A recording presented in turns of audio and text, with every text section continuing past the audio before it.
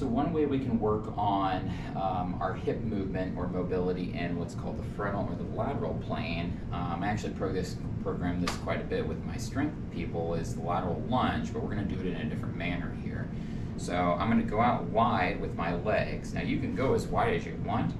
Just know that you're probably going to limit how far down you can actually get by how wide your legs are. So you may need to turn your feet out a little bit too, just depending on your hip structure.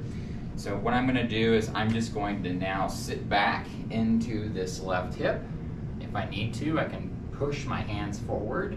Now I'm not gonna come up like I would traditionally do if I was doing the weighted version of this. I'm actually gonna stay down and just shift to the other side. And so I'm going back and forth from my left to my right hip. Okay? Side. It's going to look like this. So I never come up and down. I stay down into that position.